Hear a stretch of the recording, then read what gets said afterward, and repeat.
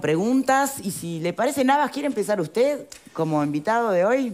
Bueno, muchas gracias por la, No, por favor. la distinción. Yo le voy a hacer un par de preguntas al señor presidente del Frente Amplio, con el debido respeto. El Frente Amplio aplica métodos de autocrítica, ¿verdad? ¿Sí? Bien. ¿Cómo es posible entonces que en esta seria emergencia hídrica que, que nuestro país está, está pasando, por suerte ahora avisorándose luz a la salida del túnel, ¿cómo es posible que, habiendo el expresidente Mujica reconocido que al Frente Amplio le tocaba una cuota parte de responsabilidad por la omisión, por la omisión de no haber dispuesto las obras necesarias para invertir en cambio en otra obra de interés de la entonces señora Carolina Cose, que era la Antela Arena. Eh, existiendo alertas, como incluso el ex ministro Huidobro, Fernández de Huidobro, y de, de otros técnicos más al respecto sobre la necesidad de hacer la obra para OCE, y no la hizo. Y ahora se desmarca totalmente acusando al gobierno de inacción, de no haber previsto la sequía, de no haber actuado eh, garantizando el agua potable para los más vulnerables, como siempre, ¿verdad? etcétera, etcétera.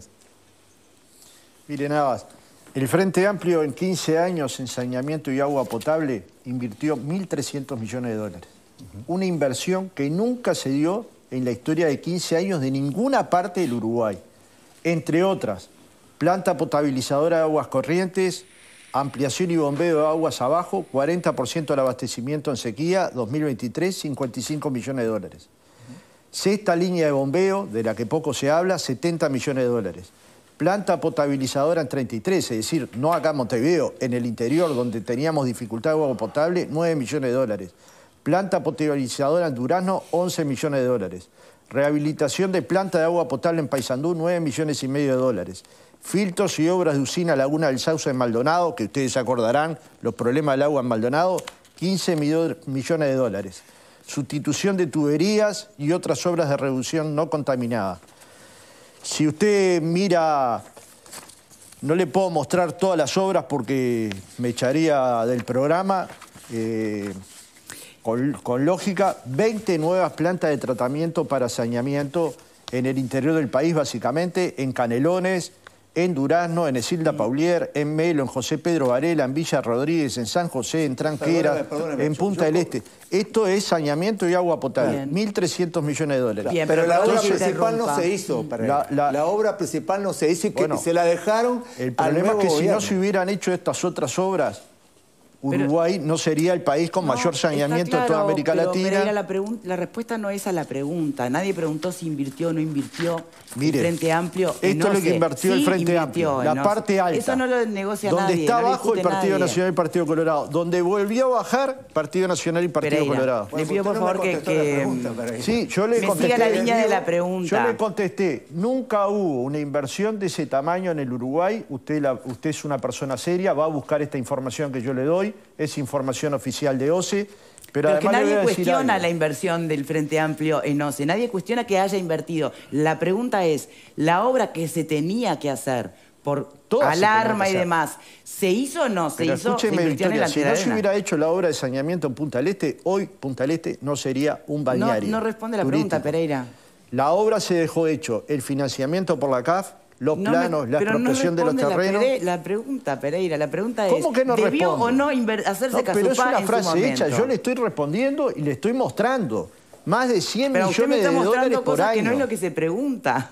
No, sí, le estoy contestando lo que se pregunta. No, yo Si no, pregunté qué hecho- tanto invirtió el Frente Amplio, no, se pregunté por qué, porque la- digo, sigo la línea de la pregunta del, de Navas, que usted no le responde, nada más Yo le trato respondo, de le digo que invertimos 1.300 millones de dólares y priorizamos otras obras. Aguas corrientes, sexta línea de bombeo, saneamiento en 20 distintos lugares del interior, potabilización del agua en el interior del país y esta obra quedó para el siguiente periodo con todo procesado, el préstamo del CAF O aprobado. sea que la autocrítica que hace Mujica usted no la comparte. No, no la comparto, pero ya ni la le de he dicho. Astori, ni la de Sendic.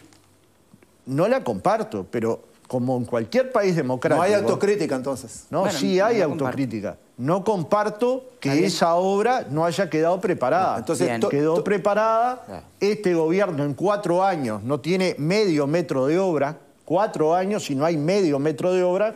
Y yo le estoy mostrando una inversión de 1.300 millones de dólares.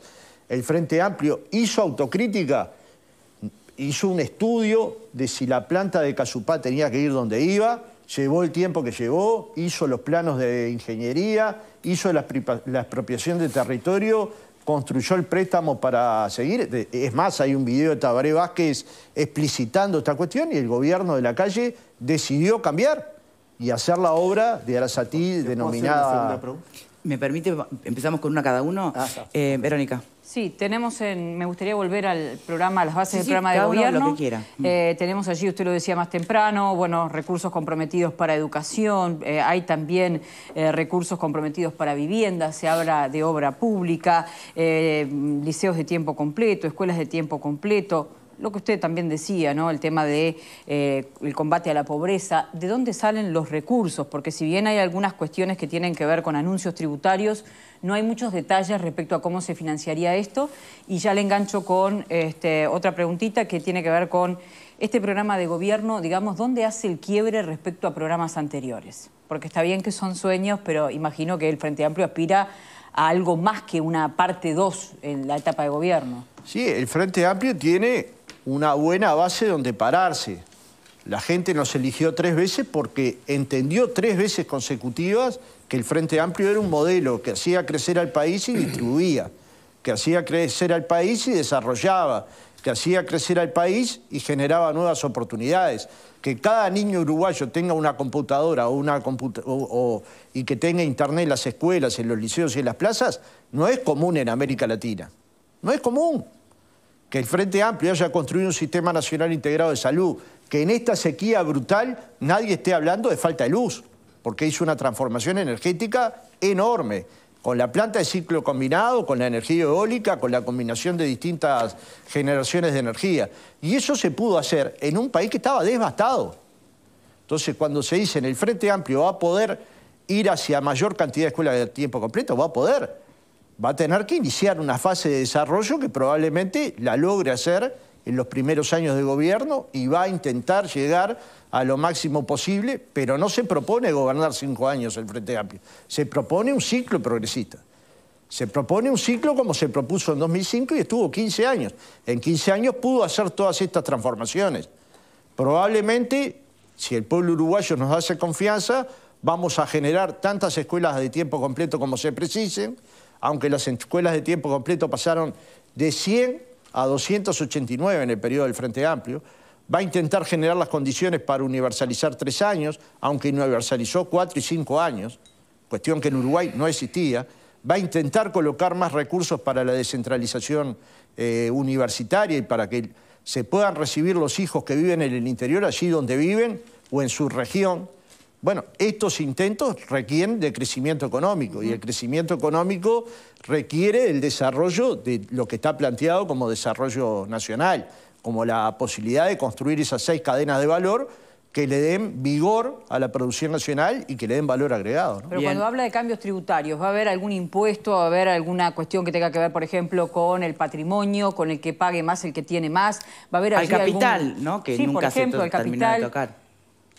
Bueno, acá hay una discusión eterna. Yo vi al presidente de la calle y a los principales gobernantes criticar durante 15 años el IRPF y el IAS. Y vi no modificarlo en absoluto.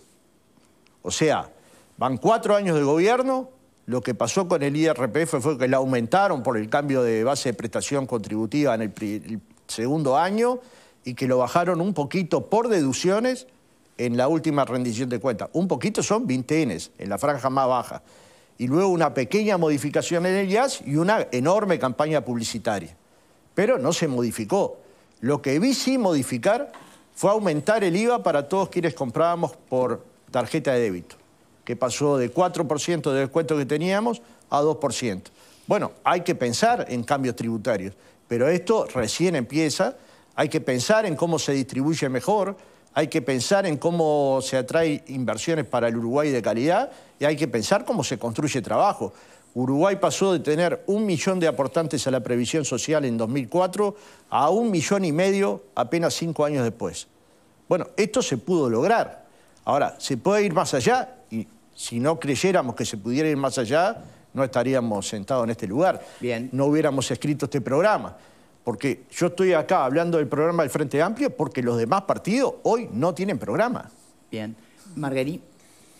Bueno, eh, yo primero eh, decir este, que en el comienzo de, de las expresiones de Pereira este, aparece una, una cosa falsa, en principio, que dice que el Para salario... empezar bien así, ¿no? ¿Eh? Como para empezar bien, ¿no? No, pero, pero bueno, pero voy a... Una cosa voy- falsa como para tener un diálogo adecuado. Pero está mal, le molesta. Bueno, una cosa que no es cierta, no sé cómo decirlo. Una mentira. Inexactitud. No dije mentira, me cuidé de no decir mentira para que no quede tan feo. Tendría Bueno, que haber dicho mentira, ¿se entiende pero no lo dije. A ver, Fernando, por favor. no lo dije. Eh, él dice que al final prefiero del la periodo gripe que estos niveles de agresividad, te digo la verdad. Prefiero el- que se va a ir de vuelta. No No, voy, Pereira, no. pero Ah. todavía no. Si no ha pasado nada, y, Pereira. no me, vi- y no me fui. Quiero No. recordar que no me fui. Amagó nomás. Bueno, no importa. Eh, Sigamos, por favor. No, este, bueno, algo que, este, que no es cierto, no sé cómo decirlo, bueno, eh, que el salario al final del periodo este, va a terminar por debajo de 2019, y lo cual, este, primero que el periodo todavía no terminó, y segundo que la proyección es que los privados terminen 1.3 por encima de 2019 y los públicos terminen 2.8 por encima del 19. Es decir, la inflación más una mejora en ¿Y el salario. ¿Quién le hizo esos números? Pe- Perdóneme. Usted no va al Parlamento, ¿no? ¿No siguió la rendición de cuentas? claro que sigo. Ah, bueno, pues está ahí. Capaz que si la lee... Pero están muy mal hechos pero capaz números. que si la lee surge ahí, pero son No, no, los yo números los del leo, Ministerio sí. de Economía. Pero además usted no sabe cómo va a terminar el periodo en los salarios. Yo tampoco, pero ¿Usted sí, leyó le, las pautas? pero sí le puedo decir que esto es lo que proyecta el gobierno. Es estimado. Bueno, está. Esperemos Entonces que está hablando en nombre del gobierno. No, pero esperemos que termine porque el relato de decir... No, yo no estoy hablando en nombre del gobierno, yo estoy hablando con información, con datos. Y usted está hablando, como siempre, con relatos. No, con datos. No, no, si no tiene datos de cómo va a terminar el periodo. Lo- los datos surgen de las pautas que presentó tiene el ministro cómo va a Mieres en terminar el la periodo. ronda de Consejo de Salarios. No tiene, pregúntele a José Lo López, que usted lo conoce bien. Sí, claro. Pregúntele, pregúntele a José Lo López, que está bien conforme ¿y con, lo firmado, con lo firmado por COFE. Bueno, pero sí. sí. Bueno, este, después este, otra, otra situación que plantea Pereira es destacar todos los logros de los tres lutros del Frente Amplio, que sin duda los tiene, porque no todo es malo, ni todo es bueno, ni en aquel gobierno, ni en este, ni en los anteriores. Se construye sobre este, pilar sobre pilar. Es más, recién hablaba de la matriz energética y de los cambios que hizo el Frente Amplio en la matriz energética, pero se olvida decir que el Frente Amplio votó en contra de todo previamente. Después utilizó todo lo votado, lo que había votado en contra antes del 2005, para este, proyectar al país. Pero le dejaron las leyes habilitantes para este, desarrollar la matriz energética, el cambio de la matriz energética. Eso quedó establecido, incluso fueron la plebiscita. Eh, aparte de eso, este, el Frente Amplio tomó un país devastado en 2005, ¿no? Eh, devastado por la aftosa y devastado por la crisis bancaria. Realmente, cuando dice tomamos el país con un 40% de pobreza y lo llevamos a determinado nivel, al 7 o al 8%, este, es cierto, es cierto, pero también es cierto que tomaron un país este, lastimado, un país golpeado, que fue el gobierno de Jorge Valle, que este, tuvo problemas siderales. Aún así, el gobierno de Jorge Valle terminó con un déficit fiscal más chico que lo que terminó el Frente Amplio después de tres periodos. El gobierno de Jorge Valle terminó con un 2,8 de, de déficit y el Frente Amplio creo que estaba arriba del 5. El déficit cerca del 5%. Es decir, después de tres periodos dejaron un agujero, un agujero más grande que el que dejó Jorge Valle después de una crisis muy importante para el país. Eh, este gobierno, que está ahora, que lleva tres años y medio, son tres años y medio contra 15 lo que está comparando Fernando Pereira, ¿no? Pero además de dejar un 5% de déficit, eh, dejaron la inseguridad en niveles récords, a nivel de rapiñas, a nivel de hurtos, a nivel de abigeato. Dejaron también 200.000 personas viviendo en asentamientos, dejaron un 17, 18% de pobreza infantil, dejaron 40.000 puestos de trabajo destruidos en 2019. Es decir, son números que de repente Pereira se, se olvida, ¿no? pero que está bueno también recordarlos sin desconocer las cosas que se puedan haber hecho. Y además comparar 15 años con 3 años y medio no parece demasiado, demasiado justo.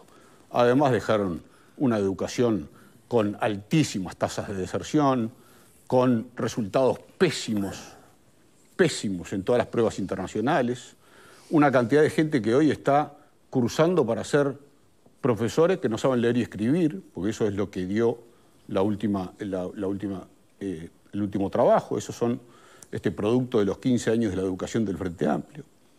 Este, eh, la verdad que eh, está bien destacar las cosas que se hicieron bien, pero la autocrítica pasa también por llegar a conclusiones de que hay cosas que salieron bastante mal. Sobre eso, ¿qué puede decir el invitado? Después te voy a la pregunta, pero para no es demasiado extensivo. Sobre eso, ¿qué puede decir Pereira? Bueno, sobre lo que no sé de dónde saca los datos. ¿Cuáles, por ejemplo? ¿Cuál dato? Yo lo escuché. ¿Pero yo ahora pretendo que usted me escuche a mí. Sí, pero me interrumpió como tres veces al principio, o sea que no importa. ¿A qué dato se refiere, Pereira? Por ejemplo, no hay ningún índice en educación que esté peor que en 2004 cuando terminó el gobierno del Frente Amplio. Ni escuelas de tiempo completo, ni universalización de 4 y 5 años, ni descentralización. ¿Tiene del 2004? ¿Cómo no hay ningún dato que esté peor? tiene sentido porque él está hablando, porque él habló. No, ningún dato, ninguno, ninguno. Ni egresos en secundaria, ni ingresos en primaria, ni cantidad de escuelas de tiempo completo, ni cantidad de niños en escuelas de tiempo completo. Trabajé en estadística de primaria, si quiere le puedo dar dato por dato. Pero trabajó hace como 20 no, años. No, no, no, trabajé, trabajé. Hace 20 años. No, no, hace 20 años no. Trabajé hasta hace poco y sigo los datos de cerca. O sea, yo entiendo que acá le paguen para provocar dirigentes del Frente Amplio, yo allá el canal y allá el programa. Se está pasando un poquito atrevido. No, yo no me paso atrevido, no. Desde que empezó se está poniendo un poquito atrevido. Usted yo no le falta el respeto. Y a mí me está diciendo que lo que plantea, lo que plantea Fernando tiene la misma atrevido, Fernando, se está pasando atrevido. Supongamos que lo que plantea Fernando Pereira. Se está no es Pereira. El mismo siempre. No, señor. Usted sabe que no. Usted es un provocador toda la semana. es un atrevido. Conmigo, Pereira, por favor. Supongamos que lo que plantea Fernando le estoy dando datos de educación, pero déjeme contestarle algo. Ahora le voy a dar Porque cuando se hablan de datos, obviamente son datos que vienen con una carga de... No, son los datos que le eh, INE. Subjetividad, tanto los que trae usted como los que traen pero acá. No son, los datos subjetivos son los que uno inventa. Algunos de los que no, inventa pueden Marguerite. no ser inventados, pueden ser No hay ningún yo lo dato, que les traigo son no los datos del dato INE. que yo haya inventado, Pereira. El primer año del gobierno de la calle los trabajadores de la educación perdieron 19 jornales que nunca van a recuperar. Pierden en mucho el más segundo año perdieron 19 jornales que nunca van a recuperar y en el tercer Claro, año pero 16 pareciera que jornales. fuera a Estos son propósito datos o resultado de una gestión No, adrede. te- no terminé yo de enunciando Eh, los problemas que dejó el Frente Amplio. Pero bueno, pero ¿por qué no hablamos de aquí en adelante, Fernando? no, bueno, pero él es... Pero la pregunta era Un otra. histórico que haces toda la semana, No, no, la pregunta... No, no hago toda la Toda semana. la semana La pregunta era otra, pero se pasó Uruguay 10 era un minutos hablando de los méritos del Frente Amplio. ¿Cuál es la pregunta? Y además, era y Pará. además este, tengo derecho a expresarme de la manera que quiera, no voy a seguir lo que vos me Vamos a aprovechar digas. al invitado. ¿Cuál no, es la no, pregunta además, concreta? No, pero la pregunta ya voy, pero yo no había terminado. tiene pregunta. Además dejó el proceso de extranjerización de la tierra ¿Puedo preguntar más alto que tuvo en la historia del Uruguay y además dejó la presión fiscal, salvo el paraíso de Cuba, la más alta de Latinoamérica. Todo eso dejó el Frente Amplio. Además, además, y no es mentira, y a mí no me diga que miento porque yo no miento. Le Si guste no o no le guste. si no le miente, guste o no le guste. Y además duplicó la es el deuda. país duplicó o triplicó la deuda externa y además duplicó el gasto público. Además. Bueno, y- y, además tengo más números para mostrarle Bien, a Pereira, porque ¿y la si no los conoce, Y además sería? había medicamentos en los hospitales Y además ver, había Pereira. materiales en las escuelas. Ver, y además había pregunta, alimentación suficiente. y cuando habla de los 100.000 pobres nuevos, los 100.000 pobres nuevos se cayeron el 15 de marzo, cuando empezó la pandemia. Bien, ¿De dónde sí. venían los 15.000? ¿Dónde estaban esos? Está en la cuerda floja. Absolutamente en la cuerda floja los dejó este, el partido que representa el señor Pereira. Y además, este gobierno aumentó 34% el gasto Pero social. pregunta, Fernando. aument- Bueno, ¿qué pregunta? ¿No Yo- querés hacer una, una pregunta? Sí, quiero hacer una pregunta. ¿Cómo No explicaría, quiero. ¿Cómo explicaría, por ejemplo, Pereira, cómo explicaría, por ejemplo, eh, que ninguno de los anuncios eh, apocalípticos que hicieron, por ejemplo, durante la campaña en contra de la LUC se hayan cumplido? ¿Cómo explicaría eso? Bueno, depende cómo usted lo mire. ¿Mintieron? Si yo le digo que duplicó, se duplicó la cantidad de mujeres presas por ingreso de sustancias de dos cigarros de marihuana, Pero eso Fue- no, Se eso está no preparando justamente Pero eso no estaba hoy en la rendición. Eso no lo discutía, eso no estaba. Eh, eh, se iba a privatizar la educación pública, por ejemplo. ¿Qué pasó? Usted Eh, dice El gatillo que- fácil, por usted ejemplo. dice, ¿Qué pasó? Victoria, que me va a los hacer desalojos, respetar o Los no? desalojos express, por ejemplo. No, pero, pero si usted contesta lo que quiere, Pereira. Y bueno, tiene Sí, derecho. Sí, está, y yo tengo derecho. derecho. a decir lo que quiero. Está, Pero tiene derecho luego de escucharme. A ver, Fernando, Yo lo respuesta. escuché todo el Eh, tiempo. Pereira, re- digo Me Pereira, dan los apellidos, porque si no esto es un lío. Pereira, respuesta. Yo lo que digo con claridad, un artículo de la LUC que hizo un destrozo en mujeres con hijos menores que están presos, un destrozo. Lo que le digo es que le aseguraron que esta ley era la columna vertebral de la seguridad pública del Uruguay y el Parlamento no apoyó al ministro, pero el Parlamento sería una parte importante. La sociedad uruguaya evalúa de la peor manera al ministro del Interior actual, que comparte su gestión de ministro con la de líder de la lista 71. Con lo cual hay un fracaso en la gestión pública, a tal punto que No, el claro, fue un documento éxito. presentado, Frente Amplio fue un el éxito documento seguridad. presentado, ¿usted me puede dejar terminar? Sí, termine, sí. Es muy difícil, pero termine. Pero me invitan, yo, capaz Sí, que me está- Pereira, invitan mal, termine, capaz que están Ah, equivocados en invitarme, Pereira. capaz que lo tendrían que invitar a usted Me acá. Pereira, por Pereira, favor. Usted no Deje de- entra en todas también, Pereira, personal, vamos. Este, Es un provocador. por favor. Deje de hacerlo Entonces, personal. Alguien lo tiene que parar. ¿Quién ¿Me entiende? Y ¿Quién va a la conductora, ¿Usted? ¿quién va a ser? Eh, No, me meta el peso, mire que usted no no es más que nadie. por favor. Bueno, Mire eh, que usted no es más que nadie. Alfredo García, ¿tenés pregunta No, para pero hacer? parece que se siente. Ni ¿Tenés alguna menos. pregunta para hacer? Bien. Este, yo quiero salir del, del versito semanal que tenemos con respecto a lo que pasó del 2005 hasta el 2019, porque lo he escuchado. Pero a ver, 25 no es un veces. versito. No, no, no, pero, no es- pero Fernando, pará, no me refería a vos. eh. Me refería a otro versito que escucho toda la semana. Vos no, vos no lo escuchás toda la semana, yo sí lo escucho. Este, vos venís ahora con el tema de las nuevas bases programáticas un que mail, se están haciendo, que se están haciendo para el futuro gobierno. Yo creo que hay cosas interesantes. Es un borrador para empezar. Esto puede ser cambiado, muchas cosas, ¿no? Claro. Está. Eh, Es interesante, se hable de eh, ambiente, sustentabilidad, se habla de productividad, en un, un lugar ahí, cosa que es medio, es un tema medio sensible para la izquierda, pero se habla de productividad, se habla de democracia paritaria, cosa que es muy importante.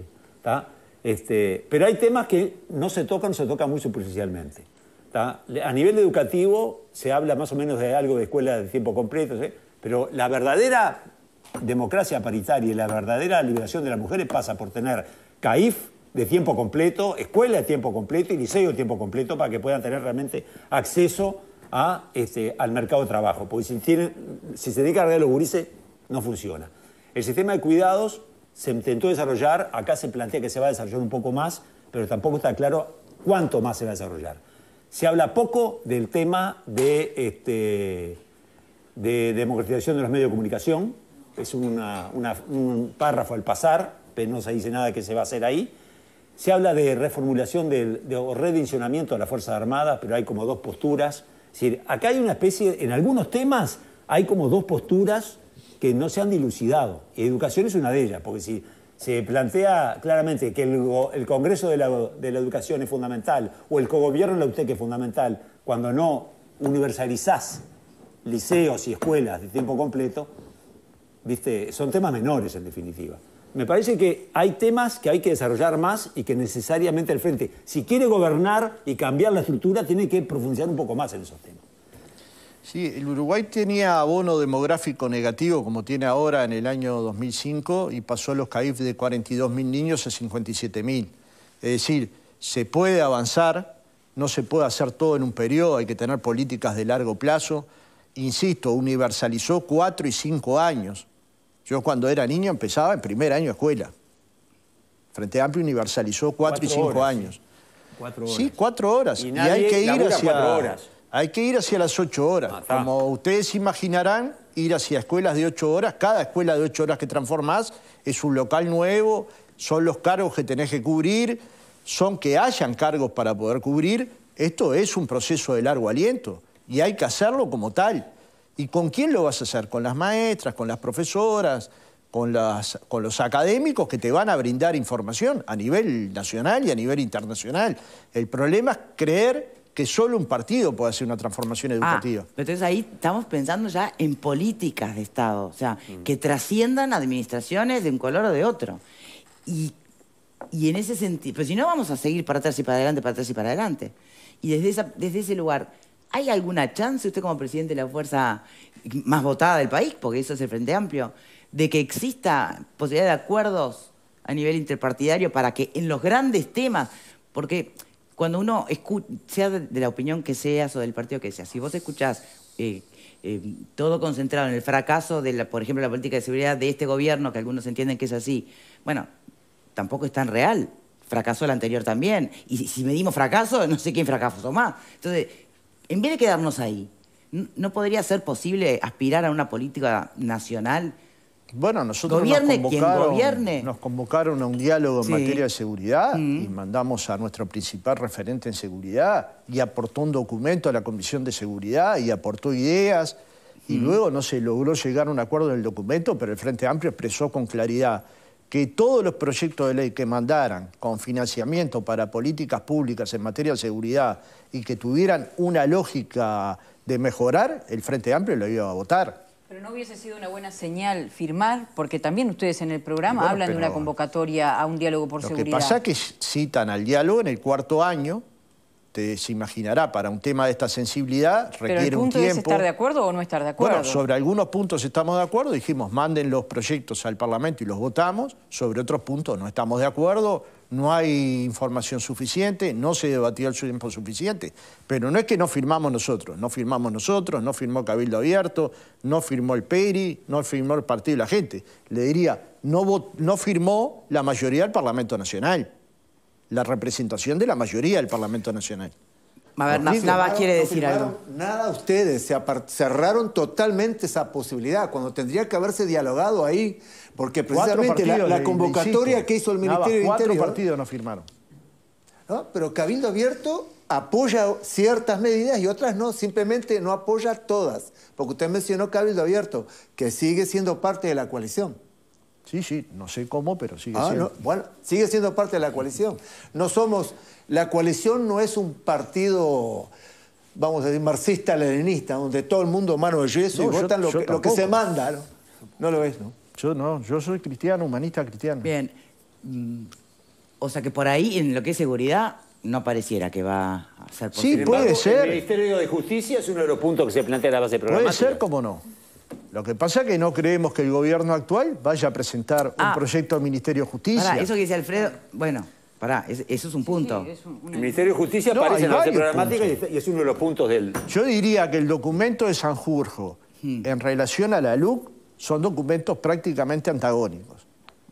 El gobierno se tiene que poner de acuerdo en cuál va a aplicar, si el documento de Sanjurjo o el documento que aprobó en la LUC, vinculado a la seguridad pública.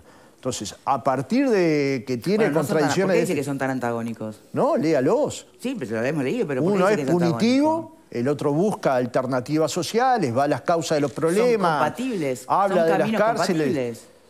Bueno, el punitivismo es bastante, bastante difícil de hacerlo com- compatible con las políticas sociales compensatorias, con políticas de, ¿Por qué? de reinserción, con ¿Por qué? políticas Eso de es un libertad prejuicio anticipada. ideológico. Puede de ser. entender que la O represión que manda la ley, que manda, es incompatible con la prevención social.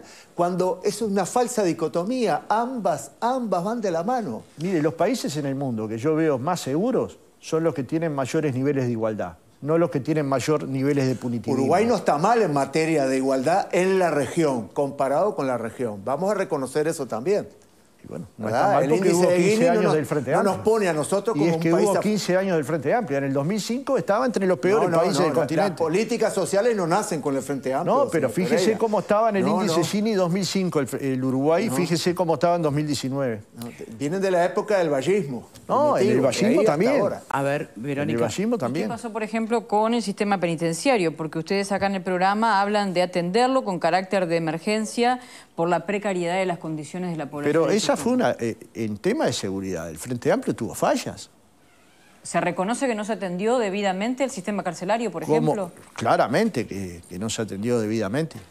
Digamos, Uruguay hoy tiene una cantidad de presos por habitante que es inadmisible, que es durísima. El modo de reclusión que tienen quienes están privados de libertad es cruel.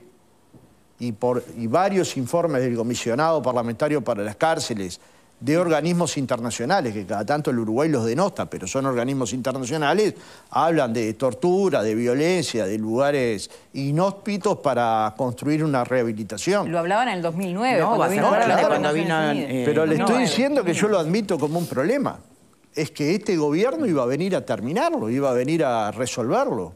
Y lejos de resolverlo, También lo empeoró. actuaron con prejuicios porque entendieron, creyeron que podrían encarar programas de rehabilitación prescindiendo totalmente de las consideraciones básicas de orden y de seguridad y de aspectos claves como es la clasificación criminológica de los reclusos, creyendo que eso iría contra los derechos humanos de, de los internos. Retiraron al personal policial prácticamente las cárceles, ingresaron personal civil sin ninguna preparación en materia de seguridad, excepto en derechos humanos y en ideología de género también, pero nada en materia de seguridad, y generaron un caos en la, en la seguridad interna.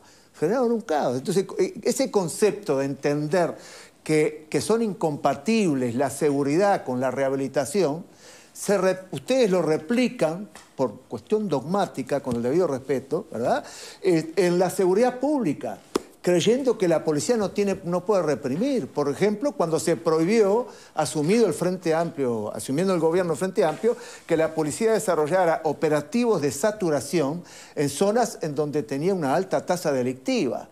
Con el pretexto de que no se está, eh, se está, la policía está castigando a los más vulnerables, a los pobres, ¿verdad? Eh, justificando de alguna manera el delito y poniendo en un pie de igualdad al delincuente con el trabajador honesto. Entonces, con esos prejuicios también eso es puede imposible tener que mucho de ustedes de encaren la interpretación y seguridad pública. No, eso, Navas, eso ¿eh? no es que es subjetivo, es absurdo lo que usted dice. Nosotros no pusimos al trabajador honesto en pie de igualdad con ningún delincuente. Pero prohibieron actuar en esas zonas. con ningún delincuente. Prohibieron Entonces, Bueno, la policía tuvo usted esa habrá escuchado, si gana el Partido Nacional, se les terminó el recreo. Y el año 2022 fue el año de mayor cantidad de homicidios y muertes dudosas, como usted bien lo sabe, porque es un profesional de la materia. Y hasta ahora no han podido explicar cuál es el plan que le presentó Heber a la calle para bajar la cantidad de homicidios, cuando en verdad estos aumentaron 25% 2021-2022. Entonces, le presentó el proyecto, aumentó 25% Igual siguen y la gestión 2018. es segura. Siguen estando abajo de 2018 igual. Usted toma un año del gobierno del Frente Amplio, podría tomar cualquier otro. fue progresivo el año 2000 y usted toma Bueno, uno. ahora sigue Y usted progresivo. toma uno. Y usted Y toma ahora uno. progresivo. Ambos están Pero tomando usted un toma año, uno ¿no? de este gobierno. No, yo no, no, tomo el que quiera. este lo que le traje hoy de OCE todos los años, así nadie discutía. No, pero es que usted cree que con eso nadie discute, pero sigue habiendo No, espacio para la discusión. Que la Pereira. gente puede discutir, porque puede discutir incluso contra la verdad. Si yo le digo el saneamiento de Punta del Este posibilita que sea un balneario turístico, eso es indiscutible. ¿A quién se lo Pero discutiría? alguien lo puede Porque discutir. antes no era turístico, Eh, Punta del Este. Este estaba Lo en el horno. Cualquiera que... Punta del Este lo descubrió el si Frente alguien Amplio. sabía de si alguien sabe de Punta del Este, Dios. Victoria, y sabe cuál era el nivel de saneamiento de Punta del Este. ¿Tenés otra pregunta, Fernando? No, tengo, no. Para que ¿No? me revuelque a mentira, prefiero ni preguntar. Bueno, yo diría que se puede preguntar y escuchar una respuesta y vos sabrás si te creo o que no. es un y la gente atrevido, también ¿no? ¿Pero sabrá. qué voy a Yo creo que es un atrevido, ¿Pero qué voy a pero... preguntar? No, tal vez, Hace por bien en no ejemplo, preguntar. ¿Qué puedo preguntar? sobre los El distintos silencio- eh, claves que tiene este programa. El silencio hemos de las hablado de personas. educación, hemos hablado de seguridad. ¿Qué otro tema más se puede Decime en qué fui preguntar? irrespetuoso con él Siete hasta que me dijo que falté a la verdad. Es Siete nada. claves. Y si faltó ¿Qué la pasa verdad. con la seguridad Ahí va. No, no falté a la verdad. ¿Qué Sí, pasa con, claramente. con? Con la seguridad social, porque no se nombra el tema de los AFAP, por ejemplo, en el este, Nosotros y hay sectores del hemos frente que la propuesto- quieren, la quieren abolir. Nosotros hemos propuesto, si gana el Frente Amplio, convocar a un gran diálogo social en materia de seguridad social para reformar la reforma esta que se aprobó en este periodo, que carga sus tintas sobre los trabajadores, que la pagan con más años de trabajo y con menores jubilaciones, dos tercios de los mismos. Dos tercios de los mismos. Entonces, queremos dialogar con los trabajadores, con los empresarios, con los jubilados, con los partidos, para ver si es posible eh, acercar una posición a un proyecto que sea sustentable en el largo plazo y que cuente con acuerdos de los, de los partidos políticos y de la sociedad. Ojalá nos den las condiciones. Nosotros presumimos que el Frente Amplio va a ganar la elección y presumimos que va a tener la autoridad para convocar a un diálogo y para intentar llegar a acuerdos generales. ¿no? ¿No es lo que hizo este gobierno? Desde mi punto de vista, no. Estuvo dos años reuniendo gente, más de 50 organizaciones, representantes del Frente Amplio, del PIT-CNT, todos discutiendo la reforma, no es lo la mismo. primera entrevista que tuve con la calle le planteé que hiciera una convocatoria, un diálogo social, que los expertos aportaban mucho al tema, pero luego se precisaban decisiones políticas y que en la medida que la política no interviniera en ese debate, iba a haber interferencias. Nos dijo que no. Sencillamente nos contestó que no. no ni siquiera estoy adjudicando mala voluntad. Su punto de vista es que ese no es el mecanismo, que el mecanismo era que los discutieran aquellos que eran expertos y luego fuera el Parlamento. Y el Parlamento desarmó la ley la volvió a armar. Digamos, la ley que se aprobó en el Parlamento en relación al proyecto de ley que me entregó la calle Pau en la sede del Frente Amplio, tienen enormes diferencias, múltiples modificaciones. Y eso se podría haber hecho bien en un diálogo social y probablemente se pudieran haber llegado a mejores acuerdos que los que llegaron, que los trabajadores con todo derecho se quejan de que van a tener que trabajar cinco años más para tener una jubilación menor. Me, me queda Una, un una más. A ver, Sí. sí, sí. Se tenemos- insiste en el tema del voto de los uruguayos en el exterior. ¿Sí? Como están votando los españoles ahora acá. No, no, pero digo, acá hubo un plebiscito y no, no se aprobó. Igual el Frente lo va a plantear como una alternativa a eso. Es que es un derecho de cualquier... Yo no entiendo cómo acá los españoles votan, los italianos votan, y no queremos que los uruguayos que vivan en el exterior votan. Incluso muchos de los que yo he visto expresarse por el no voto de los uruguayos en el exterior van y votan en esas elecciones de España o de Italia. Realmente hay que permitir que los uruguayos resuelvan donde viven, como se permite en buena parte del mundo. Ahora, luego hay que construir las mayorías, si se construyen o no. Siempre es una decisión soberana. Por suerte en el Uruguay resolvemos democráticamente, ni por adjetivos, ni por calificar a otro. No, a veces resolvemos no. por el voto. A veces no, a veces no. Eh, ¿Qué pasa A con veces el no, te- la mayoría no siempre tienen razón, dijo Tabaré Vázquez, y violaron la ley de caducidad. La Bueno. pasaron por arriba a la La voluntad violaron, popular. la Suprema Corte la declaró inconstitucional. La como era pasaron por arriba a la voluntad Obviamente era Le inconstitucional. pasaron por arriba a la voluntad popular, sin pestañear. Verónica. Eh, Pereira, ¿qué pasa con el tema vivienda? Los asentamientos fueron un problema durante el gobierno del Frente Amplio, están siendo un problema durante este gobierno. Aparece en, esta, en estas bases programáticas una política nacional de alquileres y un sistema de alquiler social. ¿De qué se trata eso? Bueno, se trata de ir hacia facilitar a aquellas personas que tienen dificultades de acceso al alquiler, un alquiler con garantía, con masividad, con posibilidades de pago, y al mismo tiempo se trata de ir hacia la construcción de viviendas sociales que permitan abatir el déficit que hoy Uruguay tiene. Y eso no fue A un poquito lo que trató de hacer en la- Uruguay ganaron una elección diciendo que iban a construir 50.000 viviendas. Y en el mejor de los casos, al final del periodo, no van a haber llegado a 10.000 no van a haber llegado. Entonces, digamos, me parece que hay un momento donde el Frente Amplio le va a poner cifras, pero no es el momento todavía. Pero hay un momento que le va a poner cifras para poderla contrastar con la realidad. Lo del gobierno ya se puede contrastar con la realidad. Se han dicho de todas maneras que no van a llegar, las pocas que hicieron, la- algunas las entregaron a, a dedo. ¿Cuál ¿no? sería la diferencia con lo que fue la Agencia Nacional de Vivienda, eh, los instrumentos que utilizó el Frente Es Amplio que antes? ese instrumento fue bárbaro. Nosotros encontramos, yo me parece que a veces nos olvidamos, encontramos en 2004 el banco hipotecario fundido. El Frente Amplio para que funcionara el banco hipotecario lo tuvo que recapitalizar con 240 millones de dólares. Bueno, hubo- Así hubo- lo dejaron los blancos y colorados. Hubo, hubo que recapitalizar Hubo ANCAP todo, ¿no? con mil millones. Hubo no se de todo. Hubo que, ANCAP salió mucho más caro que el hubo banco que hipotecario. fortalecer... ¿Se acuerda? No sé, habría- tendrían que poderle silenciar. Pero no se acuerda que ANCAP salió mucho más caro que el- Pero ¿se acuerda no o lo no? encontramos todavía. ¿Se acuerda o no? Que ANCAP salió mucho Pero más si caro no que lo el banco encontraron, es que nadie va a querer venir y cuando nadie quiera venir, tendrán un, parte- un programa partidario. Usted tiene otros problemas que no, a ver, ocuparse eh, de este programa. acá, Vivienda, a ver. no me, ¿qué me va a decir que son todos de derecha los que No, están yo digo aquí? que él no deja hablar. Yo digo que cinco Tenemos veces... un digo la él no eh, deja tenemos hablar. un temita Cinco así veces con, costó con la verborragia de Marguerite. banco hablando de hipotecario. vivienda, Eh. Nosotros No, banco banco hipotecario. de a. Marguerío, ¿no? Fundido.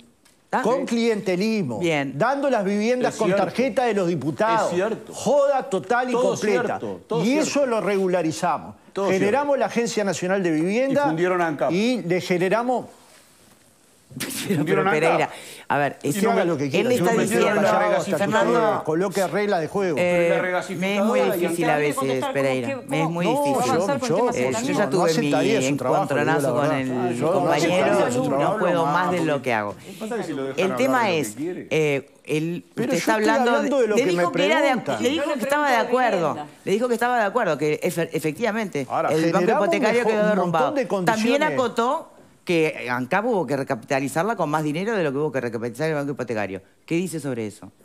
No, pero primero voy a contestar de vivienda. No, no, no, no voy a Ah, seguir bueno, va, entonces, este- Y después voy a volver a Bueno, bueno, da- queda pendiente, perfecto, él queda quiera. pendiente. No va a hablar. Está, queda pendiente. Que conteste de vivienda, sí. Entonces, Mm. así encontramos al Uruguay, con el Banco República fundido técnicamente, quebrado técnicamente. El banco hipotecario que no podía prestar, pero es mucho más que no podía prestar. No podía devolver los ahorros de quienes tenían depositado el dinero en el banco hipotecario del Uruguay. A veces nos cuesta decir estas cosas porque son duras. Y el Frente Amplio esto lo reconstruyó. No se nota. Y reconstruyó los préstamos. Son duros para los uruguayos. Claro que es duro para los No, no uruguayos. se nota que le cuesta. Pereira, pero reconozcamos que el tema de los asentamientos fue un asunto que el Frente Amplio no, No, lo pudo resolver. Y no, y va a trabajar para resolverlo. De la misma Bien, a manera eso que me refería. digamos que. ¿Cuáles serían los el- instrumentos novedosos eh, que puede exhibir el programa de gobierno, las bases programáticas, teniendo en cuenta que son la población más vulnerable, ¿no? Sí, pero también tienen que tener oportunidades la clase media, los que trabajan. También tienen que tener acceso a crédito. También tienen que poder comprar a través de las vías hipotecarias. También tienen que Sí, poder sí, construirse claro. cooperativas. Pero para eso hay otros Fernando, instrumentos. La vivienda de interés social sirvió para especulación fundamentalmente. Bueno, y para Porque- trabajo, porque todo es discutible. Sí, sí, dio trabajo, pero al mismo tiempo no, Bueno, pero no fue interés trabajo no social. es poca cosa, digamos. Después hay que ver si el nombre era el adecuado y Claro. el nombre no era el Sí, sí, sí. adecuado. Capaz que hay que tener un cupo de O sea, vivienda todavía de estarían social. faltando las viviendas de interés social. Social, claro. Claro. Están las que hay que no Hay son vivienda, pero no puntualmente interés social. interés que el plan junto. bien. Eh, Ah, el Era plan lindo el Juntos plan construyó una cantidad de oportunidades. Era lindo el el plan plan Juntos. que acaban de hacer para abatir los asentamientos en el Uruguay, yo quisiera saber dónde es que se están abatiendo. En el cuarto año, ¿dónde es? Yo fui, visité todo el país, cuatro veces. A mí no me pueden hacer un cuento.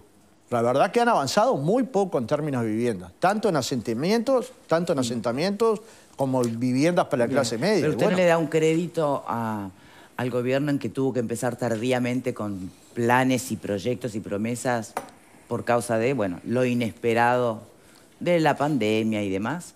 Pero la, la pandemia pasó y el Uruguay creció el primer año después de la pandemia 3% y el segundo año 5.8%. Y ese crecimiento no le llegó a la gente, Victoria. Es como yo le digo, hay mil millones de dólares más. ¿Quién lo tiene? La gente no lo tiene. El trabajador no lo tiene, el cuenta propista no lo tiene, el pequeño empresario no lo tiene. ¿Quiénes lo tienen? Bueno, este es el problema. Este gobierno gobierna para el sector más poderoso de la sociedad. ¿Y los No es un problema- ¿Para quién gobiernan? Porque lo que hizo el Zunca con la obra de vivienda social de Maldonado, ese piquete violento para interrumpir la obra, ¿a quién responde el sindicato? Pero yo no soy Bueno, pero sindicalista. No, pero el. Frente Amplio salió a apoyar inmediatamente la acción sindical. ¿Dónde pese fue a eso? que fue un acto ¿Dó- violento. ¿Dónde fue? ¿Dónde fue Navas? Así yo me En entero ahora Maldonado. no en sabía. Maldonado. Yo de- el Frente Amplio declaró. Ah, Amplio- declaración puntual oficial. No, de- no, no. oficial o no oficial. Pero yo me entero que, que el Frente Amplio se expresó de cosas que no se expresó, pero de repente Navas está en el Frente Amplio y yo estoy perdido. Me parece que inventan. Digamos, en la lógica de juntar sindicatos y Frente Amplio, que funcionan en forma autónoma. ¿Qué pasó cual- con OCE? Con, con- con el piquete en OCE, con la bomba de humo de OCE. y ¿Qué la hizo el verdad que Frente no Amplio? pasó nada. En todo caso, eso es para preguntarle a Ortuño, No, nada hay más, porque apoyo, que fue hay quien apoyo del apoyó. voto del Frente Amplio a la acción Pero sindical. es que no pasó nada. Ah, Digamos, ¿Cómo que no pasó incidentes nada? de eso en Uruguay y en el mundo hay miles por día. Luego, si la gente lo juzga bien o mal, obviamente que lo juzga libremente. Pero hubo heridos, se afectó a la institucionalidad, se afectó. Pero ¿cómo no? ¿Y usted- le parece no. que impedir Eh, la sesión de un Se directorio? tiran más bombas de humo en un partido de todas de fútbol. maneras, eh, nada más eso es, mm, tal vez no es No, para el- todos los directores momento, entraron y porque en resolvieron. realidad eh, quien apoyó Perdóneme, nada, pero todos los directores ¿no? entraron y votaron, No ¿eh? fue una voz oficial de, de- no fue el presidente del Frente Amplio. Hubo ¿no? otras voces apoyando, pero eh, el hecho que hay que criticar es el retorno a la violencia por parte de determinados grupos sindicales. Pero violencia en Uruguay, ¿de verdad Eh, me dice eh, eso? lo que ocurrió en Violencia es en Francia. Una pregunta. Violencia es en Francia que Pereira. están prendiendo fuego los edificios Última públicos. pregunta, Pereira. En Uruguay Usted violencia de verdad. No hay que esperar Pereira. que muera alguien. Pero de verdad hay Fernando violencia en. Uruguay. ¿Usted puede decir eso? Esos fueron actos violentos Pero usted concretos. puede decir- Yo no estoy generalizando. ¿Usted puede decir que vivimos en una sociedad que laudamos los problemas violentamente? No dif- aplique no. la retórica porque no es así, no la va a sacar Fernando por ese Pereira, lado. la última Pero no pregunta. Fueron usted actos mencionó, puntuales de violencia. Señores, por favor, usted mencionó eh, la clase media, ¿no? Como, bueno, apuntalarla, una clase media que viene golpeada, que además en, en este crecimiento económico que tuvo el país no termina derramando, eso me parece que nadie lo puede negar. Distinto es decir que no hay políticas sociales, Es- son cosas distintas. Ahora, la clase media, hay varios mensajes que vienen de, de la página del programa, donde hacen, por eso lo mencionan, porque hacen especial hincapié en, en una clase media que entiende, en palabras más, palabras menos, que fue el propio Frente Amplio que la hundió. Bueno, debe haber tantas visiones como integrantes de una clase que es bastante amplia. El Ay, de hecho Amplio- quedó clase media. Yo le voy a decir algo. ¿Eh? Sí quedó clase media, es una clase media, es una clase media importante Mm. que en el periodo 2005-2019 sus ingresos mejoraron 60% en términos reales. Medición del INE. No, no me dé bola a mí, vaya de acá, salga. Digo por el tema impositivo. En página del INE. IRP, Aumentó y- 60% en términos reales y paga un impuesto mucho menor a lo que es su crecimiento económico. Hoy la clase media, cuando finalizó el gobierno del Frente Amplio, estaba mucho mejor que cuando empezó el gobierno del Frente Amplio. bien, bueno. Con muchos más derechos, con acceso a la salud. Digamos, cuando yo era un niño, Victoria, hace bastante tiempo, pero luego cuando mi hija era un niña, una niña, ya no hace tanto tiempo, los hijos de los uruguayos se atendían con tarjeta de pobre. Y hoy los hijos de los uruguayos tienen derecho a la salud, o a través de la mutualista o a través de ACE. ¿Y por qué cree que hay esa lectura Porque instalada? se hizo una inversión de 10 puntos de No, producto no. en ¿Por salud. qué cree usted que hay una lectura instalada de que fue especialmente la clase media la más golpeada? Y bueno, yo creo que la derecha trabaja bien y que hay algunos relatos que los instaló. Digamos, si uno se imagina, si la gente que vivió en 2004 se imagina 2004 y se imagina cómo estaba Uruguay en 2019, no tiene nada que ver. Eran dos países completamente diferentes. ¿Cómo nos instalaron un relato de un país fundido a un país que tenía el PBI per cápita más grande de América Latina, los mayores niveles de igualdad, los mayores niveles de baja de pobreza infantil y mayor, los mayores niveles de desarrollo en términos energéticos de transformación en tan poco tiempo. Una computadora, un niño, 100.000 operados de cataratas, una inversión muy importante en educación pública y particularmente en descentralización universitaria. Es que también la derecha trabaja, ¿Y el también la derecha comunica. la derecha trabajando O el o, pueblo es un se dato? cansa. Bueno, ¿cuál es el déficit más duro? ¿El déficit de la persona viviendo en la calle o el déficit de un gobierno algo endeudado? Pero ¿Algo? con- pero, y, bueno, todas las calificadoras Porque le daban bien es al un Uruguay, círculo, ¿no? Eh, A ver, todas las calificadoras le dieron buena nota al Uruguay. Y la calle y su estrategia de comunicación colocó como que Uruguay tenía enormes problemas, no tenía problemas de inversión. De hecho, llegó UPM-2 en el final del gobierno del Frente Amplio. De hecho, se hizo el ferrocarril central como obra entre Montevideo y la planta UPM-2. Es decir, si- siguieron llegando inversiones. Ahora, esto no supone que la gente no haya tenido una lectura que cuestionó, varias cosas cuestionó, cierta lejanía del Frente Amplio de la gente, y esto yo lo pude percibir en las cuatro recorridas que hemos hecho, una cierta distancia con los productores agropecuarios, que en términos de política no la tuvimos, pero en términos de cercanía sí, y de hecho hemos hecho una gira nacional, visitamos más de 100 organizaciones agropecuarias, una tercera que fue vinculada a la cultura, es decir, bueno, si la cultura tiene que ser territorial, si el acceso al teatro, al cine, a la pintura, a la música, tiene que ser entonces una política nacional. Y la gente juzgó un conjunto de aspectos. Y, otros, y otra de las cosas que juzgó es que no tuvimos eh, actuaciones destacadas en otras cuestiones. Por ejemplo, la regasificadora no funcionó. Tampoco se vio que hubo delito, pero no funcionó. Fue una apuesta productiva del Uruguay que no funcionó. Y, y naturalmente que si el Frente Amplio no fue capaz de comunicar todo este conjunto de obras que yo les mencioné en algunos, eh, en los minutos que me dejaron hablar y no me cortaron, eh, pudieran haber sido comunicadas en forma ordenada en todo el territorio nacional, probablemente el Frente Amplio pudiera haber seguido otro periodo. Pero esto no se va a saber. Ahora, el Frente Amplio tuvo una gran oportunidad. Perdió, visitó 1.500 organizaciones, conversó con la gente, tomó valores y propuestas de la gente, las incorporó a su programa, la vuelve a colocar en el seno del pueblo para que el pueblo opine. Los que votan al Frente Amplio y los que no lo van a votar. ¿eh? Bien. Entonces me parece que esa lógica de generar una magnitud de conocimiento que supere la estructura militante del Frente Amplio, que vaya a buscarlo donde está, le ha permitido al Frente Amplio hacer una autocrítica haciendo una pregunta que es de las más duras de hacer. ¿Por qué perdió el Frente Amplio? Le preguntamos a 1.400 organizaciones. Y mucha gente nos respondió seguridad, y otra gente nos respondió que dimos demasiadas ayudas a los pobres, entonces no lo explicamos bien, y otra gente nos respondió que tuvimos problemas en, en ANCAP o que tuvimos problemas en la regasificadora, y otra gente valora mucho las obras del Frente Amplio, porque lo que no hay que olvidar que el Frente Amplio, aún perdiendo, fue el partido más grande del Uruguay en la elección de 2019. Y lo que no hay que olvidar, que aún perdiendo el- la segunda vuelta, perdió apenas por un punto, Sí, sí. coma 10. No, no, Es evidentemente decir, ese país está absolutamente dividido, polarizado y bueno, y, ojalá dicen, esta ¿polarizado campaña no? electoral se dé en Polarizado en no, polarizado parece acá en el programa. La gente en la calle se te acerca y te pregunta razonablemente Ah, bien sí, no, o pero, y- discrepa razonablemente pero polarizado bien. no es en sí una mala palabra, quiero decir dividido en dos, ¿no? Con una mirada Con dos bloques, dos posiciones. Exacto, Hay, hay dos modelos exacto, de país. exacto. Un modelo de país que sostiene el actual gobierno, que, que- que es respetable, pero que sostiene que en la medida que el país crezca va a distribuir de mejor manera, y bueno, la, en la vida demuestra que no pasa, y un país que cree que hay que actuar para que, la, para que el crecimiento económico llegue a la totalidad de los uruguayos. Igual usted mismo dijo que todo necesita tiempo, ¿no? Que no es lo mismo una gestión que proponer un ciclo. Bueno, Sí, tal vez, no. tal vez al final de Yo un creo ciclo que tal vez el este derrame sea- se diera. Tal vez este sea el principal problema de este gobierno, creer que todo lo tiene que hacer en un ciclo. Bien. Entonces está yendo contra reloj y contra datos que le dan mal. Bien.